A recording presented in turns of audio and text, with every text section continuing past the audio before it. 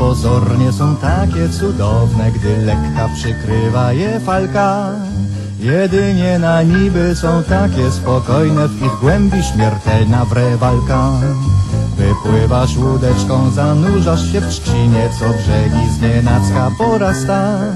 Dwa metry pod tobą w bagiennej głębinie, bandytyzm, sadyzmy, bestialstwa.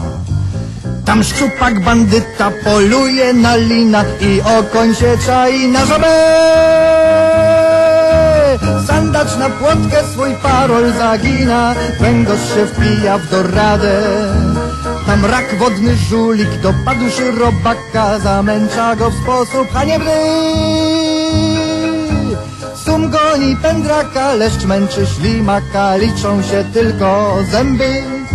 A w górze słoneczko i miły zefirek i zielsko rozrasta się zielsko. Na zielsku nenufar, a nad nim motylek z tą swoją słodyczą anielską. I można by całkiem z uciechy oszaleć i rzucić się na to z oskomą. Lecz chętkę tę miłą hamuje wytrwale ta jedna niemiła świadomość. Że w głębi panoszy się licho podstępne krwiopicze zgryźliwe nerwowe. Siedząc w kopieli niemiłej i mętnej, knując swe plany niezdrowe. Zżerają się stare, bezzębne sielawy, wzajemnie nad sobą się pastwiąc. Zaś w nocy, gdy wszystko to niby zasypia, rdza zżera stare żelastwo.